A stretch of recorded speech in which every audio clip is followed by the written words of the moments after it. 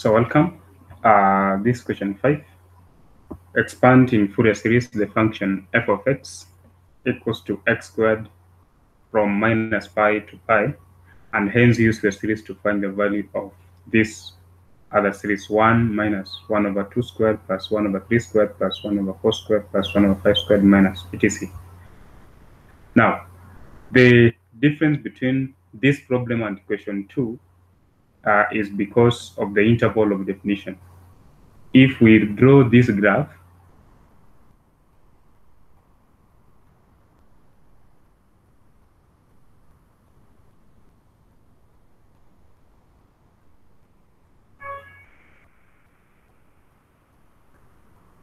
then we realize that it is of this form.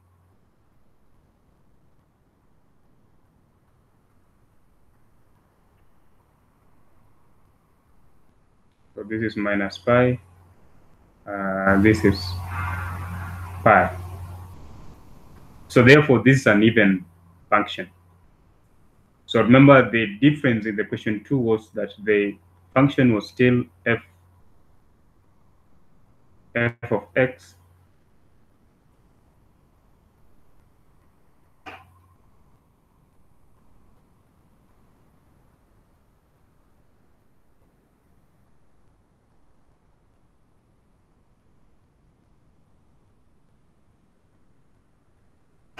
f of x equals to x squared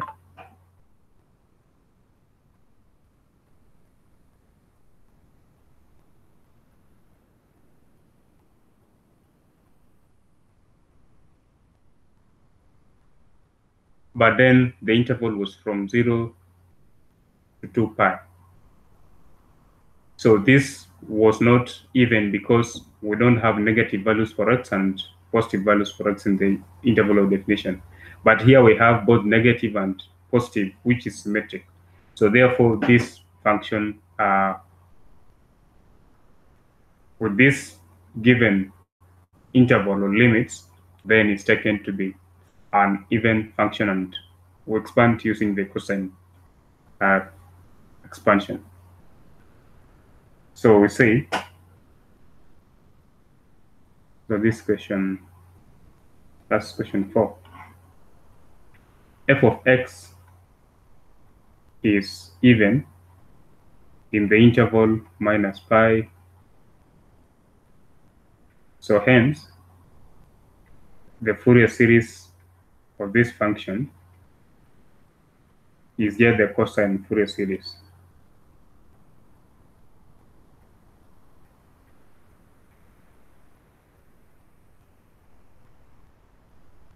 So then now uh, A naught will be given by 2 over pi, 0 to pi, and then the function is x squared dx, which will give us 2 over pi into x cubed over 3. When you work out, you get 2 pi squared over 3. An will be 2 over pi integral from 0 to pi x squared cosine of nx dx.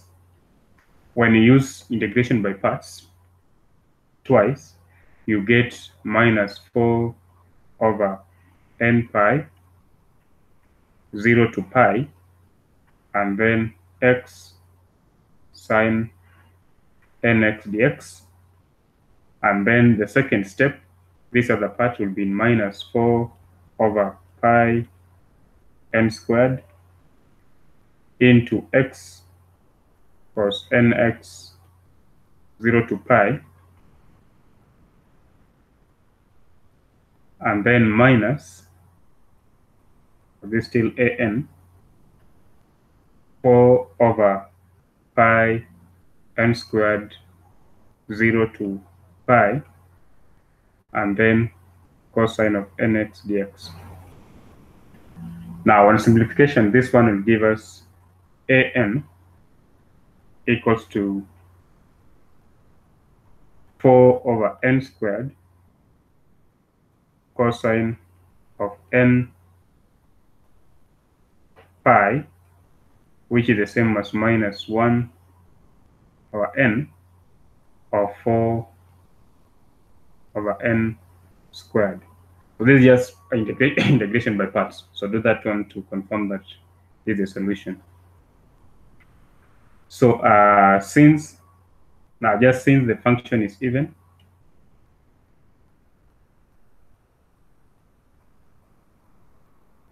then bn equals to 0. So we don't have to work it out. And then, so an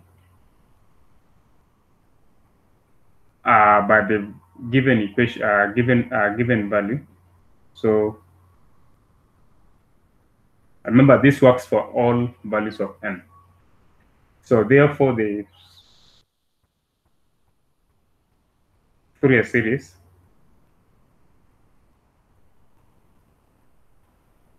for f of x equals to x squared in the interval minus pi to pi is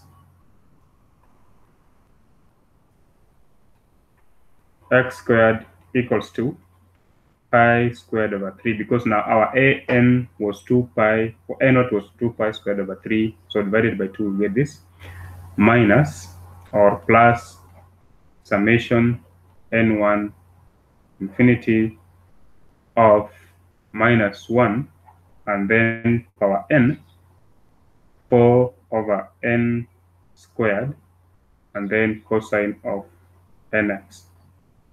So which can be written as x squared equals to pi squared over 3 minus uh,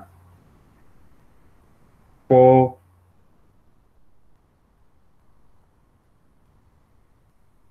into, so when n is 1, or maybe before I write that, let's just write some few terms to see how the factorization is coming in. So when n is 1, so we'll have negative 4 cos x. When n is 2, we'll have positive 4 and then cosine of 2x over 2 squared, n3 minus 4 cos 3x over 3 squared and then uh, n equals to 4 will be plus 4 cosine of 4x over 4 squared. 5 is odd so negative. Uh, 4 cos 5x over 5 squared and then plus 4 cos 6x over 6 squared minus several terms. So which can just be written as x squared, the function, is pi squared over 3 minus 4 into bracket. So this will be now cos x. Now this will be now minus cos 2x over 2 squared now this will be plus cos 3x over 3 squared because I've factored minus. This will be minus cos 4x over 4 squared. This will be plus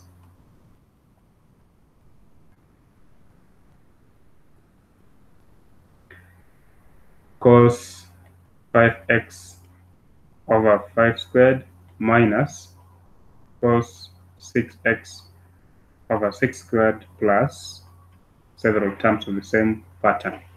So this is the Fourier cosine, a Fourier series of the function given in the specified interval. But then uh, we were to get the value of this series, 1 minus 1 over 2 squared,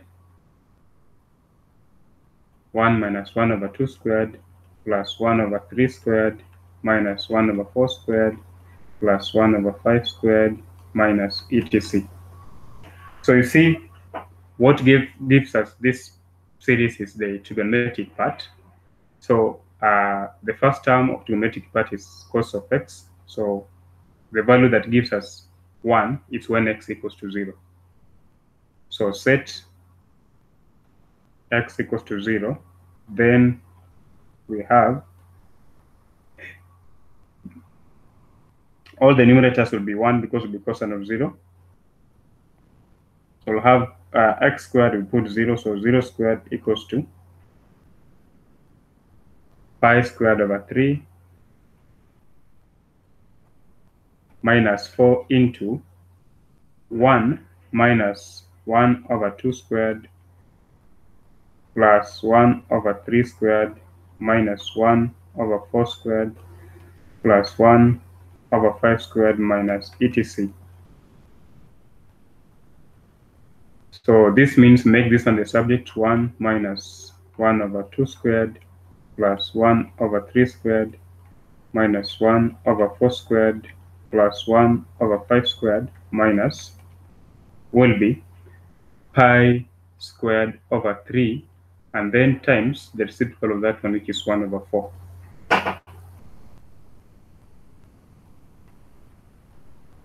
So that uh, when you multiply, you get this one as pi squared over 12. So pi squared over 12, this is the required solution for that problem.